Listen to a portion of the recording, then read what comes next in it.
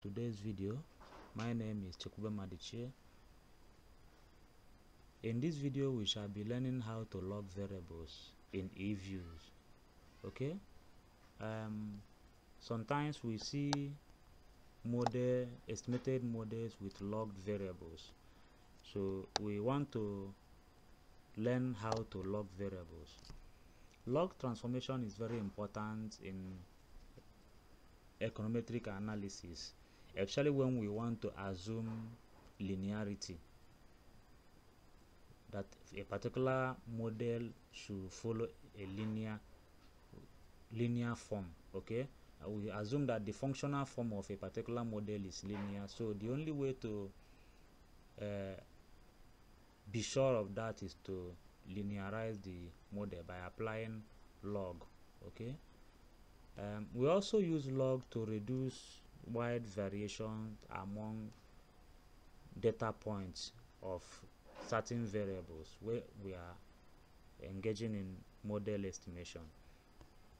So in this work file we have our variables MOP and uh, RGDP okay we want to learn how to log our variables so in this work file we can see items here. We move to generate. G-E-N-R call it generate. So this is generate series by equation. We can do a lot of things in this dialog box.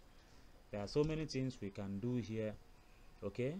But this time we want to learn how to log variables. So for that the way to go assuming we want to log MOP okay want to log, log MOP okay? Uh, so see what I wrote here now? Uh, LMOP this is the way we want it to appear in our work file. Okay? LMOP we want it to appear as LMOP in our work file but the log proper is implemented by this command okay?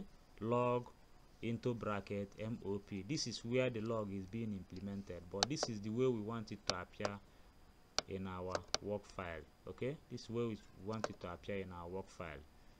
We put equals to okay? Equal sign and this is the log command okay and we are logging from 1970 to 2015 all right we click ok.